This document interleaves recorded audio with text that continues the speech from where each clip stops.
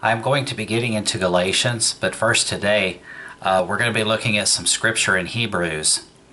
Now, as you know, I've put out quite a number of videos regarding Jesus Christ being the eternal Son of God.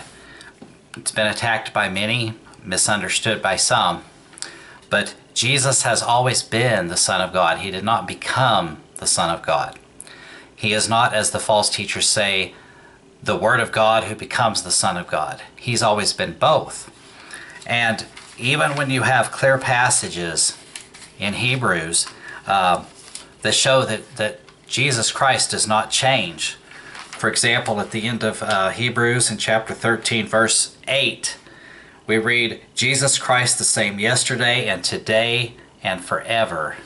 Now, I want you to understand that verse is really a culmination of what the Apostle Paul was presenting to us through the entire epistle of Hebrews in relation to who Jesus Christ is. It is the summary.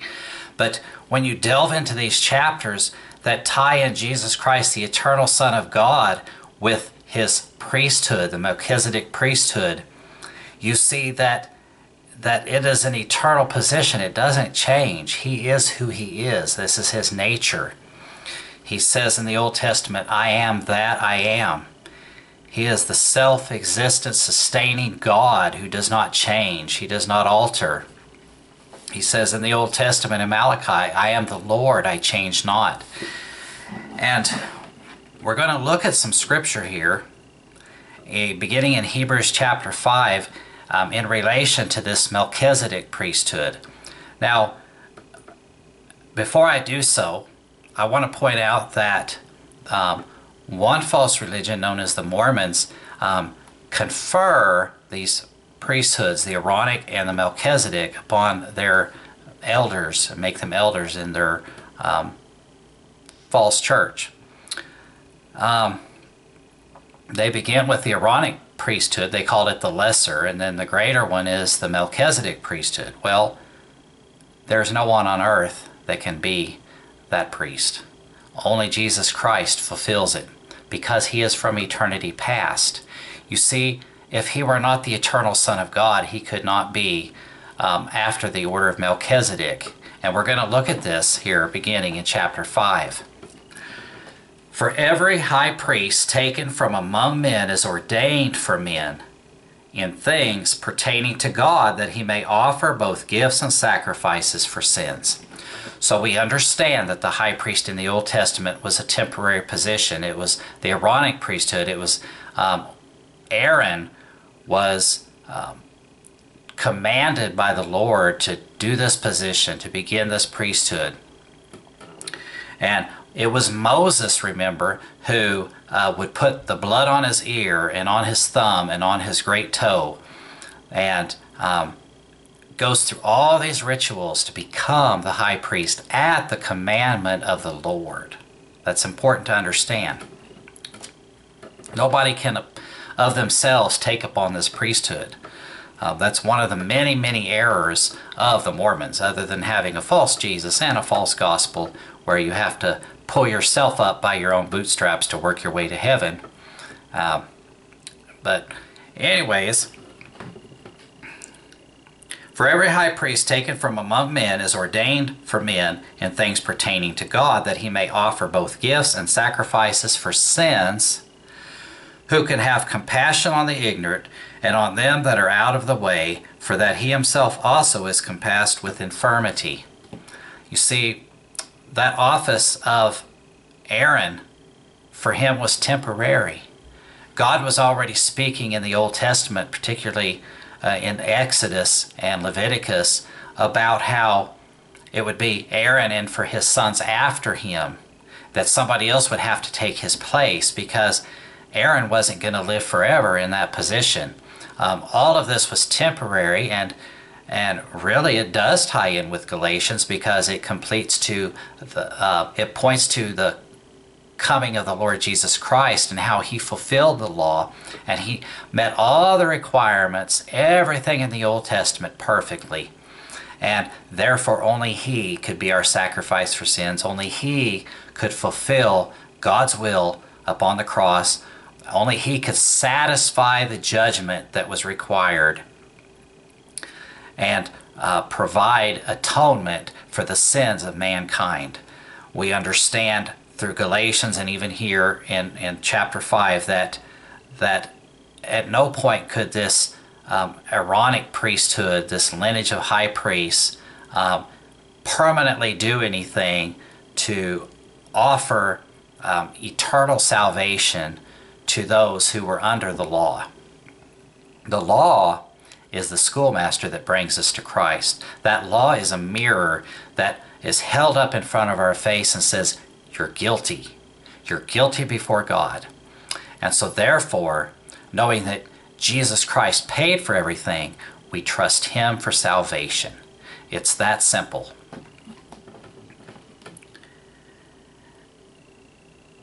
For that he himself also is compassed with infirmity, and by reason hereof he ought, as for the people, so also for himself to offer for sins. You see, Aaron sinned, but Jesus Christ, our glorious Savior, in him was found no guile. Aaron, he went astray with the children of Israel, remember, when Moses went up onto the mount, Mount Horeb, also known as Mount Sinai, and spoke with God face to face. And Aaron uh, made the golden calves and they worshiped down there at the foot of the mountain. And then they rose up to play. And Aaron partook of that. So there must needs be a sacrifice for the high priest. And that is all detailed in the Old Testament in the law, how the priest would make atonement for himself before he made one for the people. And no man taketh this honor unto himself, but he that is called of God, as was Aaron.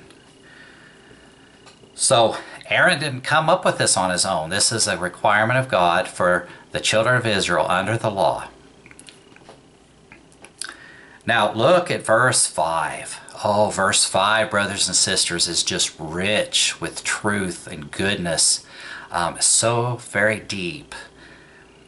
So also Christ glorified not himself to be made an high priest, but he that said unto him, Thou art my son, today have I begotten thee. You see how that verse shows up again? Now, we of course know that verse from the Old Testament in the Psalms. We know it from um, Acts chapter 13. But here we see the Father speaking and saying, But he that said unto him, Thou art my son, today have I begotten thee. Now, one would suppose those with shallow minds, those without true wisdom and understanding in Holy Scripture, who fill themselves with a lot of head knowledge of books, rather than letting Scripture interpret Scripture and allowing the Holy Spirit to teach them. But because they're choking on their own pride, they will not see. Just like the Pharisees of old, they're no different. They will not see that Jesus Christ is indeed the Son of God from eternity past. He has always been so. The Father has always been the Father. Uh, they have not changed. That relationship has been from all of eternity. Jesus Christ, eternally begotten, he, that means he proceeds forth from the Father to declare the Father to us. Um, but he that said unto him, Thou art my son, today have I begotten thee. As he saith also in another place, Thou art a priest forever after the order of Melchizedek. Now, remember this ties in with, with uh, Hebrews 13. Jesus Christ the same yesterday and today and forever. And forever is forever. You have a bunch of scripture twisters that take those words and they take the scripture and they twist it apart and they they they wrench away the truth from it and they exchange the truth of God for a lie. And they worship the creature more than the creator who is blessed forever. Amen. And when these people take this scripture, they do a great disservice to their listeners and they blaspheme the living God. As he saith also in another place, Thou art a priest forever after the order of Melchizedek, because he has been our high priest from eternity past. He has always been. This is who he is. You see, look back in in Isaiah. Isaiah 55.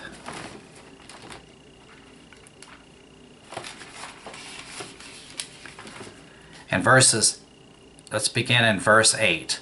For my thoughts are not your thoughts, neither are your ways my ways, saith the Lord. For as the heavens are higher than the earth, so are my ways higher than your ways, and my thoughts than your thoughts. You see, God knew us even from eternity past. That's not to say, like the Mormons teach, that we were physically there. And there are many things that we do not understand. For now we look through a glass darkly, but then face to face. But what I am saying is that every thought to God is real. He doesn't daydream, he doesn't wish upon a star. His thoughts are real. Um, everything that he thinks is real, is true, it comes to pass. Um, the word that goes forth out of his mouth does not come back void. Um, and the promises of God in him are yea, and in him amen according to uh, 2 Corinthians chapter 1 and verse 20. 2 Corinthians chapter 1 verse 20. For all the promises of God in him are yea, and in him amen, unto the glory of God by us. It's all for his glory. He speaks that which comes to pass. That's why Jesus is the Word of God. He's always the Word of God. He's always the Son of God. He is not the Word who becomes the Son. He doesn't cease to become uh, the Word of God to become the Son of God. He is both forever. And look what it says here Thou art a priest forever after the order of Melchizedek. His priesthood is out of this world, it's not earthly, it's from above. It is not just some finite time period. Um, it is for all of eternity. You see, that is why the Aaronic priesthood could never take away sin. It was going to fail because it was operated by men who were sinners. But yet Jesus Christ, the eternal Son of God, in whose mouth was found no guile, he was sinless, perfect, holy. He was the just one who, as Peter said, was evidently crucified before you. Look at verse 7 Who in the days of his flesh, when he had offered up prayers and supplications with strong crying and tears unto him that was able to save him from death, and was heard in that he feared, though he were a son, yet he learned by obedience the things which he suffered and being made perfect, he became the author of eternal salvation unto all them that obey him. Called of God and high priest after the order of Melchizedek. So, after the order of Melchizedek, it is far superior to the priesthood of Aaron. It's a temporary thing. And it could never accomplish what Jesus Christ accomplished of whom we have many things to say and hard to be uttered, seeing you're dull of hearing. For when the time for when the for the time ye ought to be teachers, ye have need that one teach you again, which be the first principles of the oracles of God, and are become such as have need of milk and not of strong meat. Now, let's look farther into this and go to the next chapter, chapter 6. Verse 13 For when God made promise to Abraham, because he could swear by no greater, he sware by himself, saying, Surely blessing I will bless thee, and multiplying I will multiply thee. And so, after he had patiently endured, he obtained the promise. For men verily swear by the greater, and an oath for confirmation is to them an end of all strife. See, that puts an end to the matter. Um, God, who promises, who cannot lie, who never breaks his word, his word puts an end to the matter. It is thus saith the Lord, and that's it. There is no need to go beyond. Uh, we have so many false teachers that go beyond the word of the Lord, that add to the word of God, who will say terrible things that Jesus Christ is not the eternal Son of God, and they will teach that he became the Son of God at his incarnation and that hell doesn't really burn forever. Um, all these false teachings are going to be found uh, weighed in the balance and found wanting. Wherein God, willing more abundantly to show unto the heirs of promise the immutability of his counsel, confirmed it by an oath. That by two immutable things in which it was impossible for God to lie, we might have a strong consolation who have fled for refuge to lay hold upon the hope set before us, which hope we have as an anchor of the soul, both sure and steadfast, and which entereth into that within the veil, whither the forerunner is for us entered, even Jesus, made an high priest forever after the order of Melchizedek. Jesus Christ being after the order of Melchizedek. Now, that is not to say that the Melchizedek in the Old Testament was Jesus Christ who became um, reincarnated somehow. Um, this is another false teaching put out by a false teacher that uh, Melchizedek was literally Jesus Christ. He's a type of Christ, okay? He has qualities about him that are going to be revealed here in um, in chapter 7 where the characteristics of Melchizedek in the Old Testament really point to Christ, just like there's things about Moses that point to Christ. There's things about David, there's things about Joseph in Egypt. All of these point to Christ, and Christ fulfills them. For this Melchizedek, king of Salem, priest of the Most High God, who met Abraham returning from the slaughter of the kings and blessed him, to whom also Abraham gave a tenth part of all, first being by interpretation king of righteousness. See, that points to Christ. He is the king of righteousness. Um, and the millennium, things will be inscribed that says, The Lord our righteousness, which is king of peace without father, without mother, without descent, having neither beginning of days nor end of life, but made like unto the Son of God, abideth a priest continually. Now consider how great this man was, unto whom even the patriarch Abraham gave the tenth of the spoils. You see, Melchizedek showed up as Melchizedek, and Jesus showed up in the Old Testament to Abraham as Jesus. But there are characteristics about him where he is obscure. We don't we're not told anything about this Melchizedek. But nonetheless, these things are brought forth here by the Apostle Paul to point us to Christ. Now, verse 11 If therefore perfection were by the Levitical priesthood, for under it the people received the law, what further need was there that another priest should rise after the order of Melchizedek and not be called after the order of Aaron? For the priesthood being changed, there is made of necessity a change also of the law. For he of whom these things are spoken pertaineth to another tribe, of which no man gave attendance at the altar. For it is evident that our Lord sprang out of Judah, of which tribe Moses spake nothing concerning priesthood. And it is yet far more evident, for that after the similitude of Melchizedek there ariseth another priest, who is made not after the law of a carnal commandment. This is very important right here. Not after the law of a carnal commandment, but after the power of an endless life.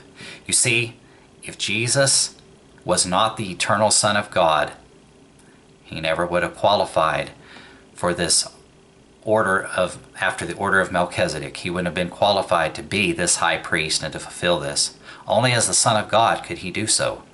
And if he had become the Son of God, he would have been a temporary Son of God. Even if, even if you want to argue, well, he'll be the Son of God for all of eternity, but these incarnational sonship people do not say that. They lie. they say, well, he's going to revert back to the Word. So if he was indeed temporary as a son, then he would have to be temporary as after the order of Melchizedek to do all that he did. It is only because of his eternality, of his eternal sonship, that he could fulfill all of this. And he is the only one who could. It was not the Father that died on the cross. It was not the Holy Spirit. It was Jesus Christ, the eternal Son of God. He is the one who died on the cross, who shed his blood, who paid the price for man's sin. It is he who fulfilled Scripture, and he alone. There is salvation in no other name. There is no other name given under heaven whereby we must be saved. It is only Jesus Christ. And you better make sure, brothers and sisters, that you have the true one. Because there are false Christs, Jesus warned us that many false Christs would abound. And that is indeed what has happened. And it's so subtle. It's so subtle. People think, well, you know, why do you want to argue over eternal sonship? Uh, we got the same Jesus. No, we don't. We absolutely do not. A Jesus who becomes the Son of God at his incarnation could never fulfill the requirements of what Jesus did here after the order of Melchizedek. He could not. He wouldn't qualify.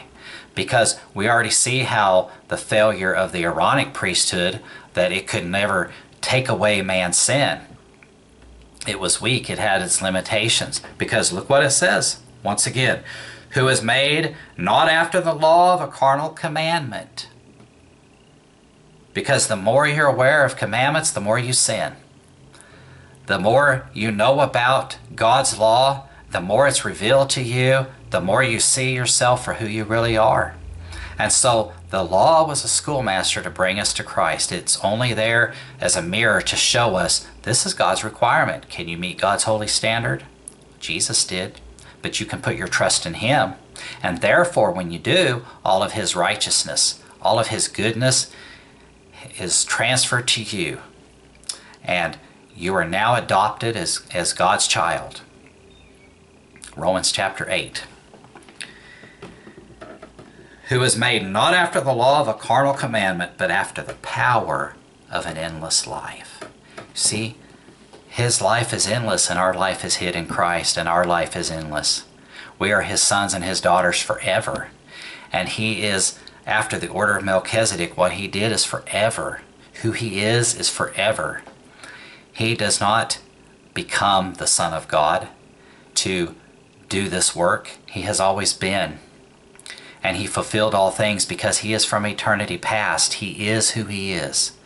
And he proceeds forth from the bosom of the Father to show the Father to us. For he testifieth that thou art a priest forever after the order of Melchizedek. For there is verily a disannulling of the commandment going before for the weakness and unprofitableness thereof. For the law made nothing perfect, but the bringing in of a better hope did. Listen, brothers and sisters, I cannot stress this enough. If Jesus Christ is not the eternal Son of God, I have absolutely zero hope. I am completely and utterly and totally hopeless. I am devoid of any hope whatsoever, not even the smallest tiny amount of hope if Jesus Christ is not the eternal Son of God. If he is not who he says he is, and he is somehow less, than he is not who he says he is. And inasmuch as not without an oath he was made priest. For those priests were made without an oath, but this with an oath by him that said unto him, The Lord swear and will not repent, Thou art a priest forever after the order of Melchizedek. By so much was Jesus made a surety of a better testament. And they truly were many priests, because they were not suffered to continue by reason of death. Say they die, but Jesus Christ is the eternal Son of God. If he was not the eternal Son of God, he wouldn't have been any more superior than the Aaronic priesthood. If he was one who becomes the Son of God, then he would be limited. And yet, He is not. He is above the Aaronic priesthood. There's no limitations to him. And I know the argument, the foolish, silly, wicked argument that these uh, incarnational sonship people will say, well, he's always been God from all of eternity, so your, um, so your reasoning is devoid. No, it's not. Because if he's not the eternal Son of God from all of eternity, he's nothing. You just made up a God, and a false God at that. So, he is either who he says he is, or he's not. Jesus Christ is either the eternal Son of God or he's a fraudulent liar. And that's where the incarnational sonship people are. Jesus said, Except you believe that I am He, ye shall die in your sins.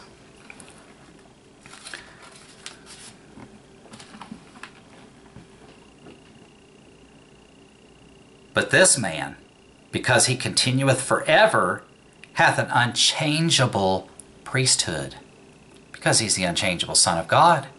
If he became the Son of God at his incarnation, he would have had a temporary priesthood.